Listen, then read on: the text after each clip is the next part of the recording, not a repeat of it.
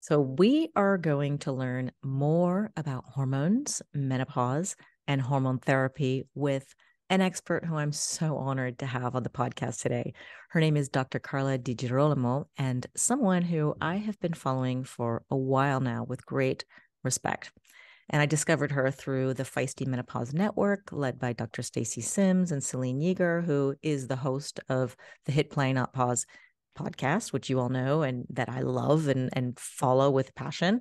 And if this is the first time you've been hearing any of these names, please go check them out and jump into these communities. If, if you like mine, you'll love theirs too. And I'll have links to all of them in the show notes.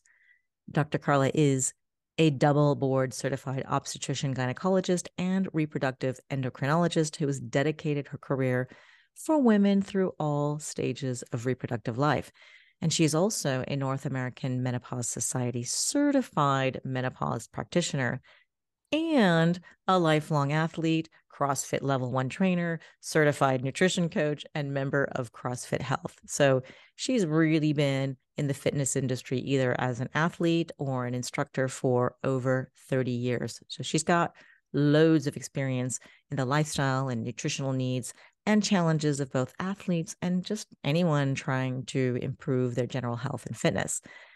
She was also recently named to the MedFit Medical Advisory Board. And she specializes in all aspects of infertility care. So she is not your regular kind of doctor, but truly someone exceptional. And that's why she's been voted for now five consecutive Boston Magazine Top Doctor Awards from 2019 to this year. She just got uh, in, uh, that been voted that as well. So this year, so congratulations on that. And she's really hands down amazing. The doctor you always dreamed of having.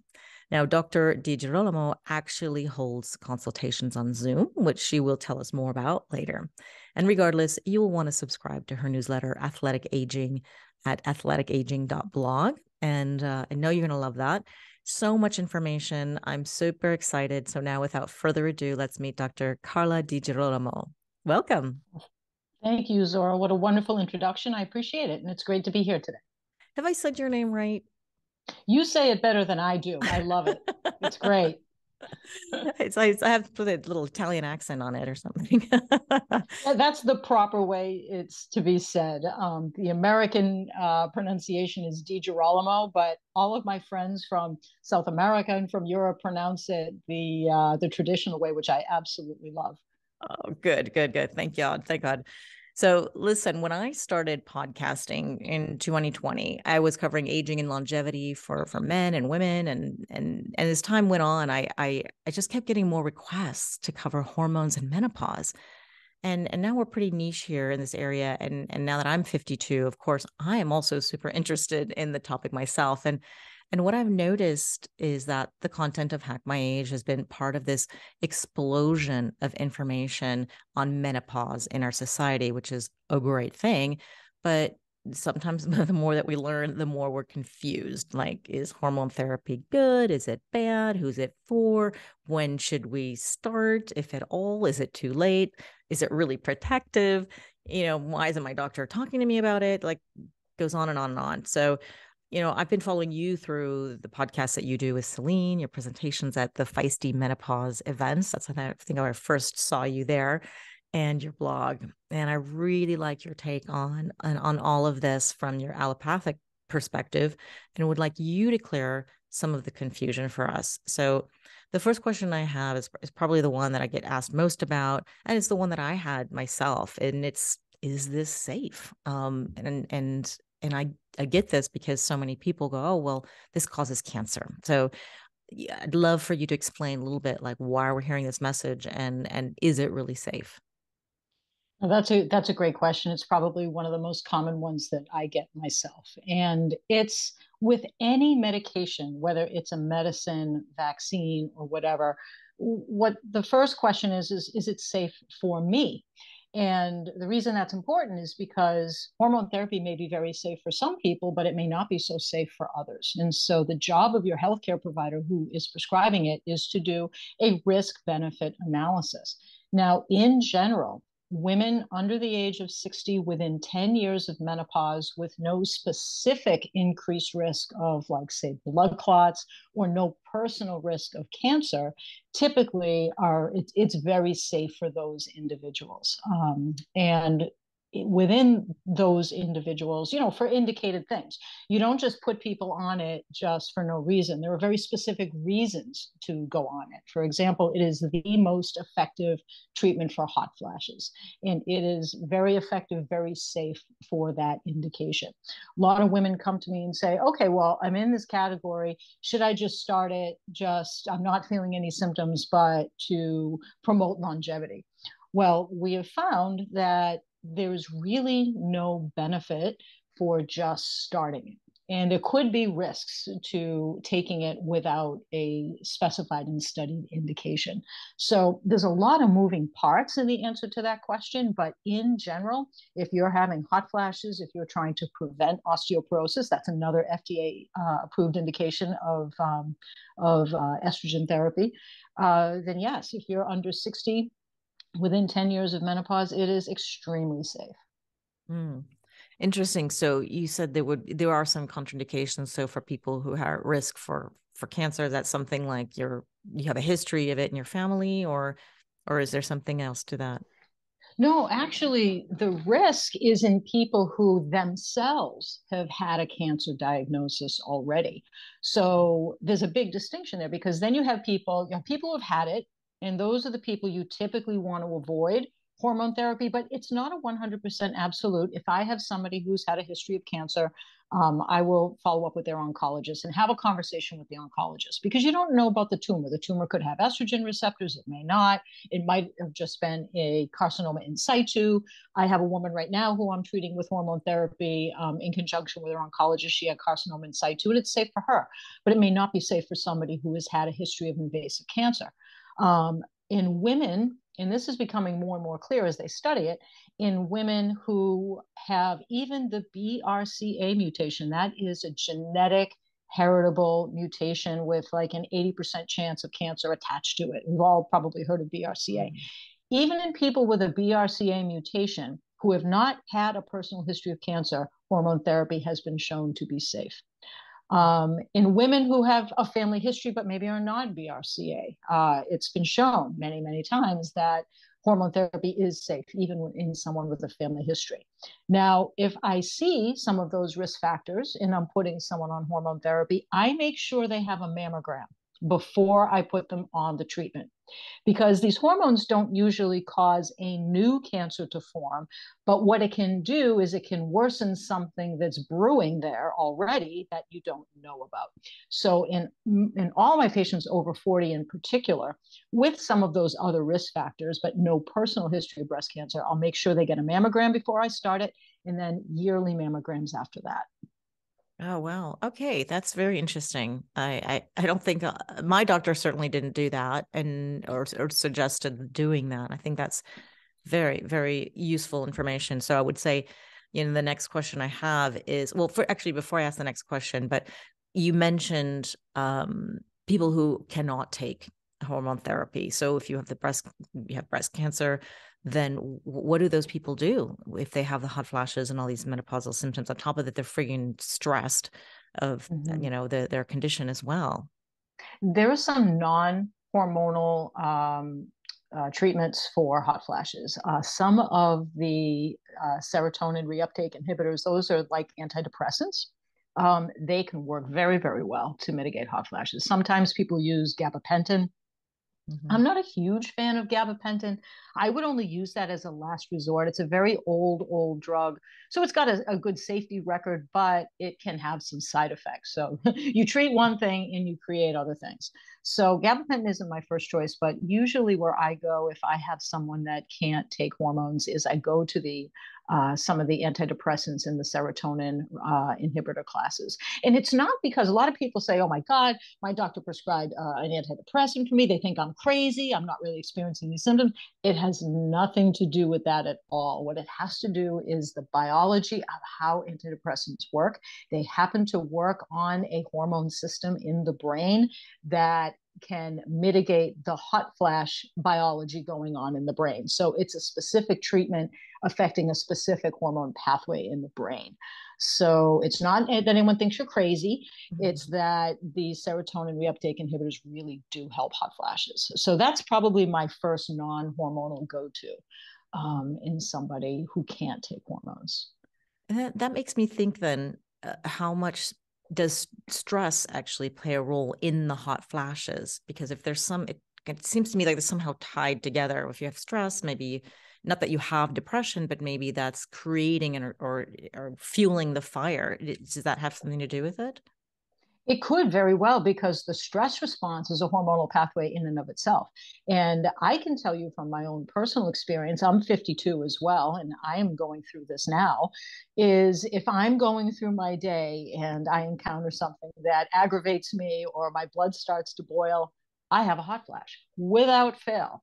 You know, when my son, who is 16, went for his driver's license test, I was on fire the whole week before. um, so, so for me personally, a trigger for my own hot flashes is stress. Um, that might not be the case for everybody. So, in people who are experiencing hot flashes, is a little bit tangential, but in people experiencing hot flashes, it's really helpful to keep a diary sometimes. What's going on at the time you have your hot flashes? And sometimes that can help you identify triggers. Is it caffeine? Is it stress? Is it, you know, something else? And that can also lead you to solutions too that don't necessarily have to be hormonal. That's a great tip. Actually, that makes perfect sense. You know, keep keep your journal, your diary, your phone nearby, and that's that's very very much of a biohacker perspective is let's figure out what's what really is is is causing this. So good advice. Um so let's go back to the fact actually that you ask your doctor or you ask your patients to get mammograms before uh, get prescribing any kind of hormone therapy. So that's a good one. I'm going to keep in my pocket. And um are, what other questions should we be asking either our doctors or ourselves to see if if hormone therapy is is an appropriate approach for us or not. I think you know first of all in awareness of your own personal history. So some of the things that um, go right alongside hormone therapy is the other risk that actually concerns me even more than cancer risk is blood clot risk. So as you mentioned in my intro, I've been a fertility doctor for about 17 years. And so I prescribe more hormones than probably anybody mm-hmm. on the planet. And I prescribe them to young, healthy, reproductive age women. And it is really scary when you see a young, healthy, reproductive age woman who I've given estrogen patches to for fertility treatment show up in the emergency room with a pulmonary embolism. This has happened about four times in the last uh, probably six months or so. And a pulmonary embolism, which is a blood clot that starts somewhere else and then travels to the lung, these are fatal a third of the time. It's a dangerous thing. And that's the stuff that keeps me up at night. And, and the reason why those are a little bit concerning is because you can't always but you can't there's there's no test that figures out everybody's possible risk factor like you can't walk into a lab and get a test and say oh i have a risk for clots or i don't um, testing is very inadequate because there are so many things in the clotting pathway that we just don't know. Because you can have people that have had every test under the sun and who have no family risk factors or personal risk factors show up with a pulmonary embolism. So what you do is you do the best that you can. Um, you you know take a history of those risk factors you do appropriate testing and then you know it's it, it, goes with the territory. You know when we take birth control pills as women there's an increased risk of blood clots there. It's about one in 10,000 so it's a very small risk but it's there. And so because it's you know a fine line to walk you always want to discuss that risk of blood clot with your provider before you start any hormone therapy. Your provider may or may not even know to ask that question. And really, every provider should. But as we're learning, there is a real dearth of providers with menopausal expertise. But if you raise the question, they'll know about blood clot risk and they'll be able to discuss that with you. So that is definitely something you want to raise with your providers to talk about your risk of blood clots. Mm. The other thing is bone health, okay, or osteoporosis, osteopenia. if you've had a personal history of non traumatic fracture, and that means not the fracture that you're a mountain bike when you crashed into a tree and you broke your arm. I'm not talking about that. I'm talking about, you know, say maybe you fell down the stairs, a couple of stairs, you tripped and you just fell and you you broke your you know your femur or your the your humerus or big arm and the big bone in your arm. That would be like a stress related fracture. That would be something you want to get a bone density test for and if you're newly menopausal, you may want to push for that bone density test as a baseline anyway, especially if you have a fracture risk uh, risk factor. If you are lean, if you are a woman with a body mass index of 21 or less, you have a risk factor for developing osteoporosis. So you may want to get that bone density test sooner rather than later. And then if you turns out, so you get the bone density test and you have osteopenia, which is a decline in bone density, it's not quite as bad as osteoporosis, but you're well on your way. Hormone therapy is very beneficial for that. So, bone health, blood clot risk, breast cancer risk, all those things you want to be talking to your provider about when you're making the decision for hormone therapy. Oh, interesting. So the the what if somebody has osteopenia already? Uh, it can the hormone therapy reverse it, like improve your score, or does it just stop it and keep it from degrading quickly? Hormone therapy, in and of itself, usually slows it down. It is FDA approved for the prevention of osteoporosis, but it doesn't build bone per se. It mm-hmm. probably just stems the tide of the decline. Now, you know, hormones are, are one strategy, but the strategies that I advocate more are making sure that you get enough protein in your diet. Menopause is a very catabolic time, meaning that bone is bone density is declining, muscle mass is declining as well. And to prevent fractures, you need strong muscles. You need to be able to move and to, you know, uh, have balance, etc. And that requires building muscle. So building muscle and building bone requires protein. So protein intake is very, very important. You want to make sure you're getting enough of that, especially if you're vegan. Mm-hmm. Um, where how much protein... would you? St- sorry, how much would you say? in terms of well it depends on your activity. If you are an athlete if you're an avid recreational athlete that's probably training eight to ten hours or more a week you need about one gram per pound of body weight. If you are not in that category probably 0.7 0.5 to 0.7 grams per pound of body weight. But if you're an athlete and you're recreationally active then i would say go closer to that one gram per pound of body weight. Mm-hmm. so yeah so that would be so for myself i weigh about 130 pounds. I get a good 130 grams of, uh, of protein a day. And that can be mm-hmm. in any form. Um, so that's important. Um, you know weight bearing movements you know lifting weights you know i know lifting weights if if you're in this age group you you know you grew up in the 80s when women didn't do such things. Um, but they really truly is this a huge benefit. If you follow stacy sims you know what the benefits are and i do recommend following her. She she knows the stuff inside and out. So doing weight bearing exercise lifting weights um, mixing up your plyometric movements those are like jumping movements. All of those things are non-medical ways or lifestyle ways that you can help to stem the tide of the loss and potentially even improve your bone density. But hormone therapy alone is not something that's going to build bone. It just might help slow the acceleration of the loss. Mm. So yeah, I agree with you. It definitely for so many other other benefits as well is to get that exercise in, the strength training and and impact the plyometrics. All of this is is is great advice.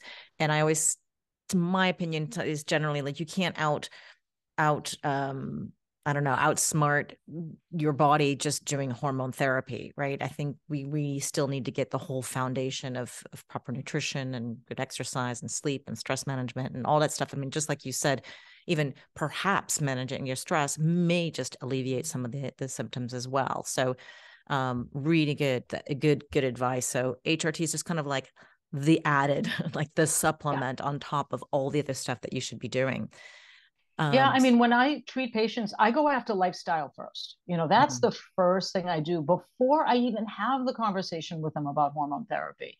Because any therapy that I use is going to work so much better if you've already optimized the lifestyle.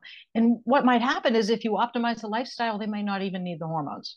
Mm. And that's really a win if, if you don't need to take medication. I'm one that, you know, if I, if, if my head's got to be ready to explode before I take an Advil. Um, I'm not one that likes to take medication. Um, I like to deal with it as naturally as I can. And uh, most of the time I can. But, you know, when I get that migraine, of course, I'll take the ibuprofen. But, you know, because, you know, medications have side effects, they do have risks. And if you don't need them, then why take the risk? So I approach it first with lifestyle, more holistic stuff, and then I use it as an adjunct, um, you know, just to help really gain relief for patients if they need it. No, that's great. It, it um, it's so rare that you find a doctor that knows as much as you do and could advocate that. It's usually just throwing stuff at us and, and just hope for the best. So I'm wondering then if you think at all if you know we I've interviewed other other hormone experts and doctors and people who who talking about HRT, and some of them say that uh, having the decline in the hormones or having your estrogen shot and progesterone gone and no testosterone is puts you at risk also for certain diseases. So in fact, those are the, the real, pro, you know, pro pro uh, uh, hormone therapy people, and they would say no, it's protective, and you you you're putting yourself at risk by not having your hormones in balance or having them all shot. What do you think about that? It's a lot to unpack with that one. Um, the first thing is yes, when uh, menopause happens and we and our hormones change, uh, we are at risk for more things. We're at risk for bone density loss. We're at risk for muscle mass loss, joint stability, dislocations. We're at risk for developing cardiovascular disease. There was an article that just came out in um, Menopause, which is the North American Menopause Society journal, uh, specifically about cardiovascular risk after menopause. But that doesn't mean that you need hormones to fix it. Again, it goes back to lifestyle. Get on the treadmill and do some HIIT training get on the weights and do some muscle mass building if you know you also also the weight gain and the metabolic changes well guess what you know that decline in muscle health is largely responsible for those metabolic changes because the number one user of glucose in the body is the skeletal muscle. And if you keep your skeletal muscles healthy, then your metabolism is going to have a better chance of being healthy. So I agree with my colleagues that yes, menopause does bring with it an increased risk of a lot of things, but the solution is not necessarily hormone therapy. You got to start with optimizing your lifestyle because the hormones aren't magic. The pills are not magic. If you don't have that foundation of good health, it's going to be very difficult to get anything to work.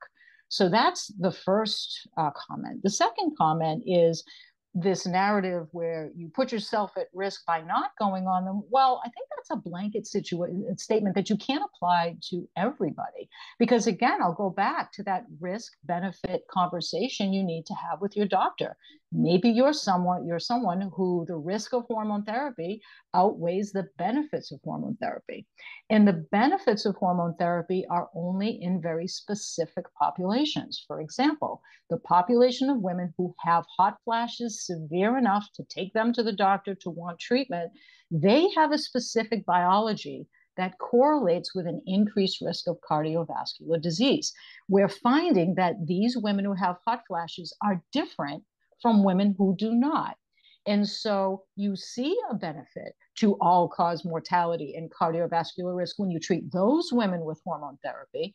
But when you treat women with hormone therapy who don't have those symptoms, you don't see the same benefit. And that's what the studies are showing more and more. So to make a blanket statement about that, that everybody needs this, is just in my humble opinion, not the best approach because every individual is different. Every individual has a risk benefit profile. And hormone therapy is not for everyone. It, uh, it does wonders for many people, but they have to be the right people with the right indication after their lifestyle has been optimized. Mm.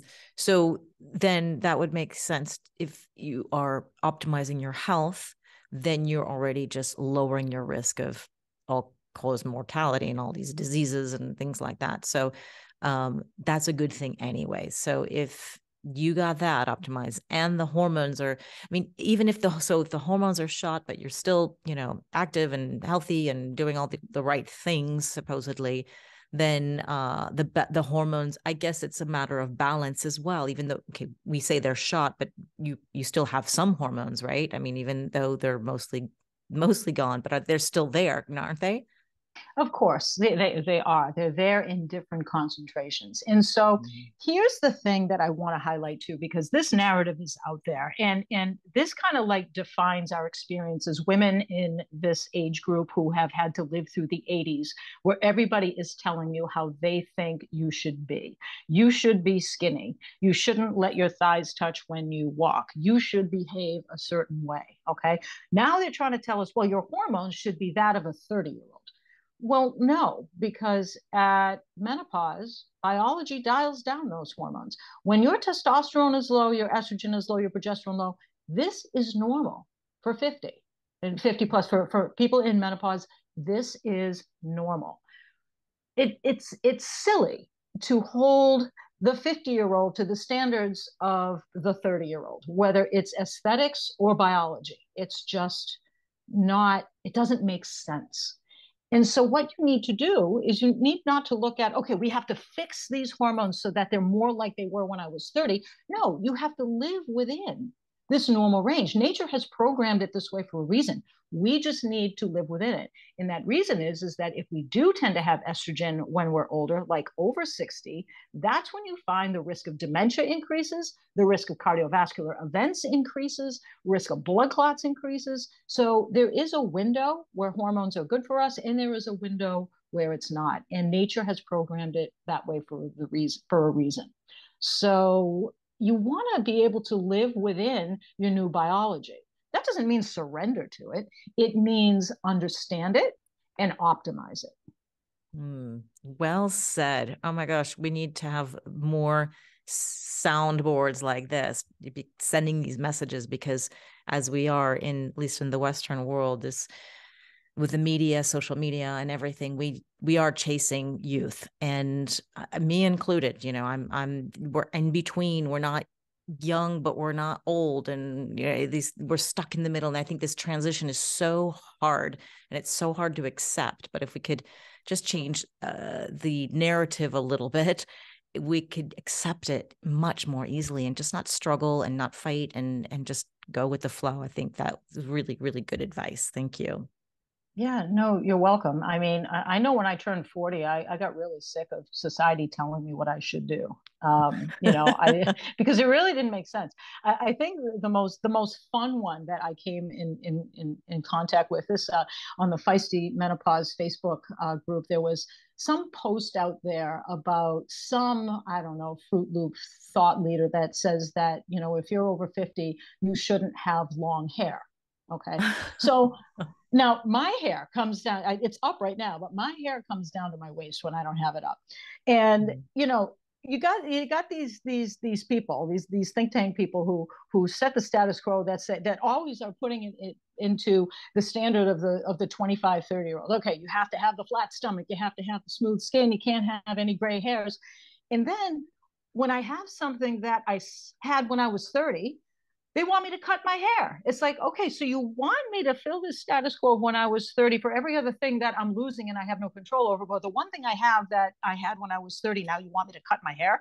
It, it just is the ridiculousness of these, these elements of the status quo that somebody somewhere along the line set. And we just kind of have to lay down the gauntlet and just stop listening and capitulating to it. You know, we just need to understand our biology live within it, and optimize it every step of the way. It's just a detour. It's not a decline. It's a detour. And uh, you know, we can we can be our healthiest, you know, most vital selves well into our 80s, 90s. My mother's 93, and she's like the most vital person I've ever met. Um, but yeah, yeah, it's you know, all, all of these narratives out there, they can be very destructive and, and sometimes they're actually ridiculous and funny if you really listen mm-hmm. to them yeah is this is why i love this community the feisty menopause community. It, i i think it's very empowering and I, when i first found this community the message that i got was menopause is is not a time to slow down but it's a time to speed up and do what you want to be doing. And i love mm-hmm. that because i've had so many people tell me after i'm injured or i'm you know something's happening like well maybe you need to slow down. And i'm just you know if you if you listen to that too much you start to believe it and uh and i really you know that's the society telling us what to do again but i just mm-hmm. that's why I, I, gravitate to your community as well so we need more people in that we need to resonate this so uh, we're we're we're we're resonating that as well so uh we have like five more minutes before i open the mic and i barely got through any of my questions but i i i would love to hear a little bit more um, about the testing. You said you you mentioned you you of course you screen, you make sure that they they don't, they don't have any of these risks, but they also have a mammogram. Are there any other tests that we should be asking our doctor for that you run yourself, and and if so, which ones? It really depends on the symptoms that somebody is presenting with. Like if it's hot flashes, which is very common, I always do a thyroid screen because that could be another reason why people are having a heat intolerant sort of episode. Uh, you always want to do a thyroid screen. You know, if um, trying to think of some other things, there isn't I, I, can't say that there is a blanket panel of testing that i do for everybody. Um, i think it really depends on symptoms but you know the, some of the important things that you always want to keep tabs on at this age is cholesterol. You want to get a cholesterol panel done because lipids change after menopause because the decline in estrogen causes our total cholesterol to increase sometimes. Sometimes triglycerides can be impacted um, that's another thing that you'll want to talk to your doctor about with hormone therapy is that hormone therapy can also affect lipids. So total cholesterol panel is good, thyroid is good. Um, if you have risk factors, like I mentioned, a bone density scan may not be unreasonable to ask for that. And you always want to take a cardiovascular risk assessment. Um, you know, you want to you, you want to know what your what your risk factors are. And there's actually the American Heart Association has a tool. If you go to the American Heart Association website, there's actually a tool that anybody can use that calculates your five and 10 year risk of a cardiovascular event. It's the same tool that most physicians use. And then you yourself can empower yourself and say, hey, I'm gonna, I'm gonna assess my own risk. And uh, you know so those are some of the things that you you want to mention to your doctor. Also screen for diabetes. You want to get a fasting sugar and probably a hemoglobin a1c just to see if there's any pre-diabetes going on there. And again diabetes can increase after menopause because of the metabolism changes that go along with the hormone changes. So those are the areas yeah. i typically hit with everybody so you do those, and you mentioned that they can affect lipid levels, for example, cholesterol. In a, you mean in a in a good way or a bad way? And the same thing for insulin, in a good way or a bad way? What hormones in gen- hormone in therapy? The, in the hormone, hormone therapy, yeah. hormone and again it depends on the age of the person it depends on what their baseline um, biology is are they obese are they you know of normal weight there's a lot of asterisks there uh, but in general like with lipid levels um, the hormone therapy can sometimes increase triglyceride levels. So, if you're somebody with super high triglycerides, that might be made worse by hormone therapy. However, if you do a transdermal or like a skin patch or a cream hormone therapy, that will have less effect on your lipids than an oral pill because the oral pill has to pass through the liver before it does anything. And when it does that, that can jack up your cholesterol parameters. So, um, skin type preparations, patches, and creams may be a little bit better um, on your cholesterol. Uh, there isn't really an increased risk on diabetes, although there might be. I'd have to go back and check the guidelines, but there might be an attenuation of um, developing diabetes with hormone therapy. But again, it really depends on where your starting point is. I would maybe guess, and this is just me just guessing, if you are sleeping poorly and then your hormone therapy helps you sleep better because you're not having the hot flashes, yeah. then maybe the insulin, uh, you know, will be regulated better because with a poor night's sleep, you're already mm-hmm. putting yourself more at at, at uh, risk for blood yeah. sugar dysregulation, right? Yeah, yeah. Sometimes, you know, if you get those hot flashes during sleep and you can fix the hot flashes and then you fix the sleep, then there's a whole cascade of things that can come from getting better sleep. So yeah. um, for some people, that's a huge, huge issue and a huge win for them. Mm.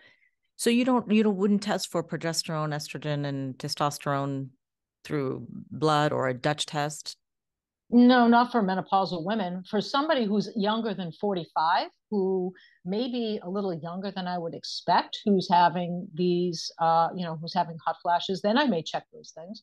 But every 45 year old woman or higher is going to have abnormal labs because, like I said, that's normal. That is normal for what is happening at that age. So you know, whether you have an FSH of 100 or not over the age of 45, it doesn't change what I do and it doesn't really matter. We know every pretty much every 45 year old woman is in perimenopause and her labs are going to be all over the place. So it doesn't drive treatment. But I do check those things. And someone who's a little younger, where it may be something else, but it may also be premature menopause or early menopause.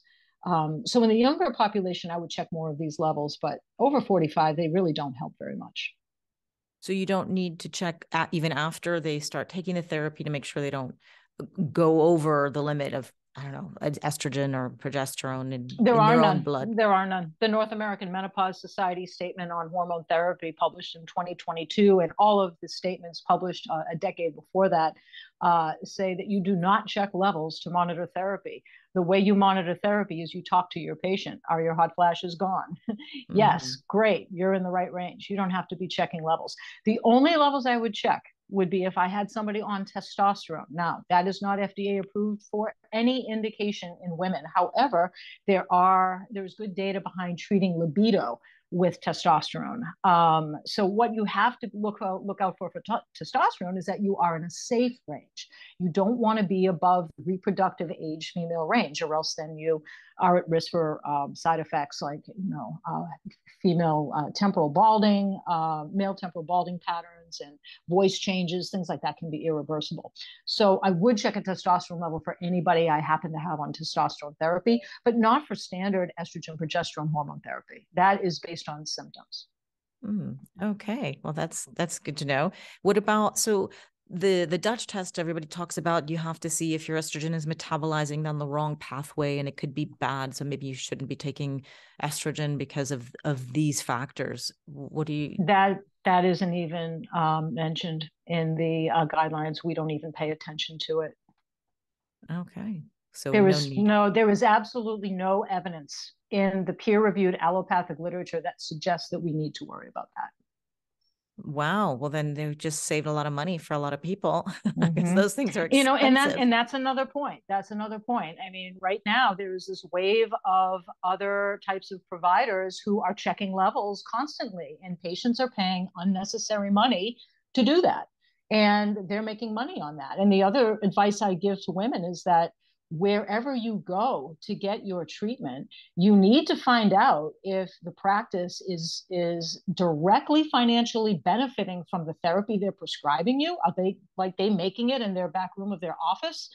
And if they are directly making a profit on the uh, the labs that they're drawing because that's a conflict of interest and like I said, in the allopathic literature and all of the guidelines that are set out by the menopause experts all over the world are saying you don't need to do these levels to monitor therapy. You're wasting your money. Wow. Okay. Well, then, yes, lots of money being saved now. I mm-hmm. love that. Okay. So I'm going to open the mics to everybody. But before we do, I'd love to ask where can our listeners you work with you? How do you work with them? Um, and do you work with any people in other countries as well? Because we have an international audience here.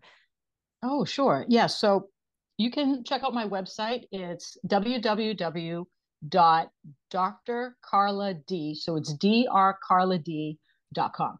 So that's my website. Um, I do consultations right now. They are not medical consultations. I am happy to do health and wellness consultations because right now my practice is in transition. I'm going to be opening up my own practice um, in uh, the beginning of 2025. And right now I'm kind of in a transition phase. Uh, so I can't take people on officially as patients and prescribe therapy for them. But what I can do is a health and wellness consultation where we can talk about all the same things. I can give you my suggestions and my take, and then you can then you get a written summary, and you can take that to your providers, your coaches, your trainers, and you can raise those talking points with them. I'm just kind of providing guidance on what questions you may want to ask and what things you may want to discuss with the doctors who are responsible for your care. So I am doing consultations like that, and you can contact me through the website. Oh, great. I'll have all the details in all the links in the show notes. So let's open up the mics. Um, I I know that Magdalena always has great questions. Um, let's start with you and then we'll we'll move on. And unmute. Hello. Hello. I'm a little bit confused listening to this podcast today because I think I, I'm the representative of somebody who is thinking or seeing the things differently. I will be 58 this year, and I'm on hormone replacement therapy with bioidentical hormones already for 10 years. I am following this protocol nonstop, 10 years. I don't know what would your, um, let us say, views be about it. Is it good or not? But I feel very good and my levels of progesterone, uh, estradiol and testosterone are much higher now when I will be 55 comparing to, let me say, eight years ago. I uh, would say that I have a little bit different views than you. I would like uh, to look, uh, to feel healthy, to look good, to, to be capable of doing many things older people cannot. And I think that um, bioidentical hormone therapy can help with it. So I am pro to the views that we should use tools and um, supplementations and some protocols to help us doing this because different doctors are seeing things differently. Zora, if you remember, for example, Dr. Yurth explained a little bit different way that people, women start um, losing hormones, um, the levels of hormones are going down after 2025. And it's like normal that we would like to feel like uh, in our 30s, 40s. And I agree. I don't want to feel um, with all these hot flashes, to be tired, to, to have insomnia. And actually, I can be happy to say that I have never um, had any, uh, I have never had an experience so far to feel what does it mean to be like menopausal? I don't know because I started at my 47, 48 uh, when I was not menopausal yet, and I don't have this kind of experience. And I think this is good. Now I don't know what is your uh, what is your view of it. What would you well, say so, about it? Well, so far you haven't said anything that I disagree with. Everything that you just talked about is in line with the message that I've given today. I prescribe bioidentical hormones all the time. That's what I prescribe for hormone therapy is bioidentical hormones. And I want everybody to feel as good as they possibly can feel. Being in menopause doesn't mean you feel horrible. It means you're going through some transitions, but there are ways to not feel horrible. You have found those ways for yourself, and that's fantastic. We're all in the same boat here, and there's nothing maybe, that you said that I, I misunderstood with. it. Maybe I misunderstood it because I understood like it's better to try with um, the way of living, with the food, with exercising. I'm already doing all of this all of my life. I'm yeah, so you're already there. Lifestyle. You're, maybe you're wouldn't be needed. Maybe I could just say I'm 50 years old. Uh, I'm menopausal. It's like normal. I don't want to be normal if there are tools that I can help myself thing. feeling younger. But you are normal you're a you are a normal menopausal woman who has found your secret sauce. We should all be more like you. You've been living a healthy lifestyle most of your life. You found some uh, treatments that are working fantastic for you. Bravo.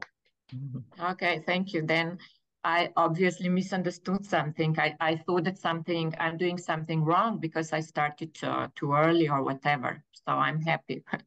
I'm on yeah. the right way yeah, no, you've you found your secret sauce. That's fantastic. I'm happy for you.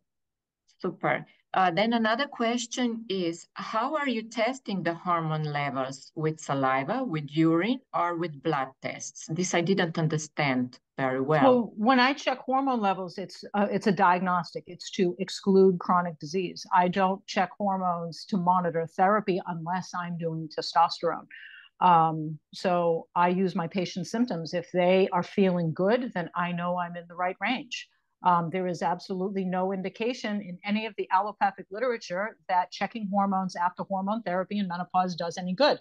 Uh, so that's why I don't do it. I don't need to. My patients feel good on the therapy that I give them, and I don't need to check levels. I do check testosterone in people I treat with testosterone because I need to make sure they're in a safe range. Uh, but with estrogen and progesterone, there's no need to do that. That's interesting. I have never heard something like that.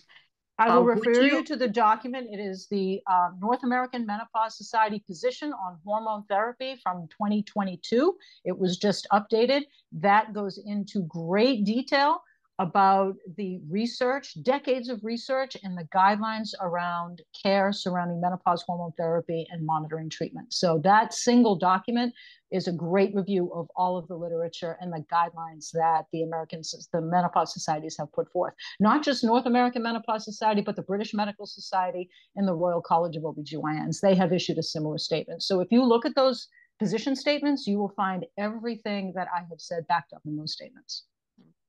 Super great. Would you recommend it's good for the body to do some pause, let me say to stop for a certain period of time and then go on, or we can uh, take and follow these protocols all the time because we're you getting can, older every day. Yeah. So one of the new things that came out in the guidelines and the research is that there is no set limit on women taking hormone therapy. And what the limit should be set on is like, say, for instance, you're on hormone therapy for a long time and all of a sudden you either have a breast cancer diagnosis or you got a blood clot and, and, a pulmonary embolism. That would be an indication to stop because now the risk benefit profile has shifted. Now the risk of the therapy has become greater than the benefits. And so as I update people's medical history, I make sure that that risk benefit equation is still intact and I will keep them on it if they are feeling good. Super.